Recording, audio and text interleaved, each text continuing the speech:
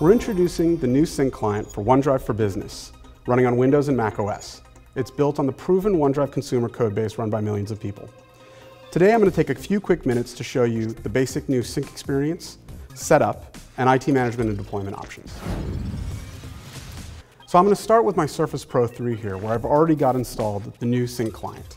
Uh, actually, I already have the 2013 OneDrive for Business Sync client as well, and I can show you that by going into Explorer, navigating to it, and we can see all of the files that I'm already syncing down. I've already got that set up and going. And that's really important, because what's going to happen is when I set up the new Sync client, it's going to talk to the old Sync client and figure out what I've already synced so that I don't have to sync it down again.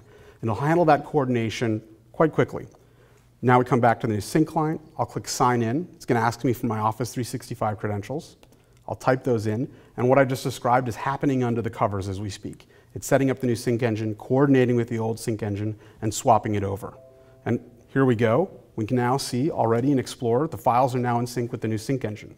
At the same time, we also cleaned up the Office file cache, so I'm not using twice as much disk space for all the files I'm syncing. And of course, that's automatically reclaiming that disk space. But if I right click on any of these, I can use the selective sync dialog to choose what I want to sync down. I might not need these, 20, need these 2013 files anymore, so I'll unselect that, hit OK, and they're gone from this device. They're still available to me in the cloud, but they're no longer taking up disk space here.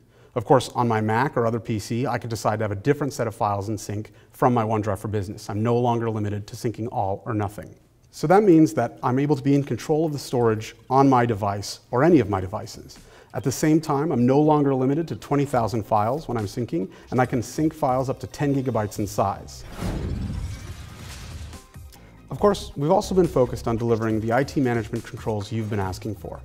That includes a 10 megabyte file install, the ability to control where users' files are synced on the device, including for the first time support for removable media, and the ability to block personal sync. Those are just a few highlights of the new OneDrive for Business Sync client. You can sign up for the preview today and share your feedback with us online. Thanks for watching.